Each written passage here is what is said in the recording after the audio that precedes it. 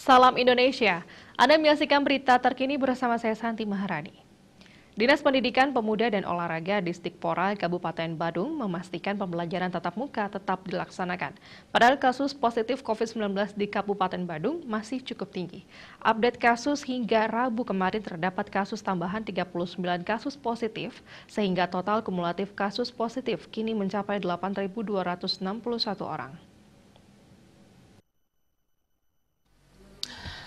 Pelaksana tugas PLT Disdikpora Badung Imade Mandi tak menampik jika PTM akan tetap diberlakukan. PTM yang dilaksanakan mulai Juli 2021 diklaim sesuai dengan surat keputusan bersama SKB 4 Menteri tentang panduan penyelenggaraan pembelajaran di masa pandemi COVID-19. Menurutnya saat ini sudah dilakukan vaksinasi kepada guru yang mengajar di wilayah Kecamatan Petang. Guru yang divaksin kedua juga harus beristirahat minimal 25 hari untuk pembentukan antibodi.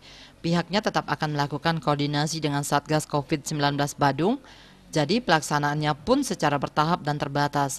Bahkan pihaknya tetap mengutamakan kesehatan murid.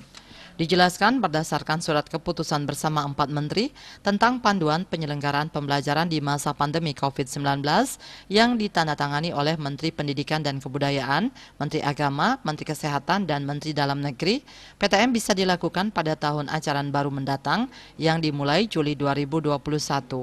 Sekretaris Disdikpora ini mengatakan pihaknya akan terus mematangkan persiapan PTM termasuk kesiapan tahap penerapan protokol kesehatan seperti menyiapkan tempat cuci tangan, jaga jarak, dan tidak berkerumun. Nantinya pembukaan PTM juga mengikuti situasi perkembangan zona wilayah masing-masing. Mengingat di Kecamatan Petang juga masih ada yang zona oranye. Namun untuk desa di Petang yang paling banyak zona hijaunya daripada daerah yang lain.